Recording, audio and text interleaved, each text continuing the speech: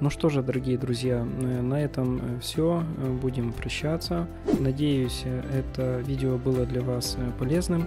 Вам я желаю всяческих творческих успехов и новых свершений. Ах, да-да, все время забываю. Обязательно жмакай на кнопку подписаться и не забудь о колокольчике. На этом все. До скорых встреч в следующих видео. Пока-пока.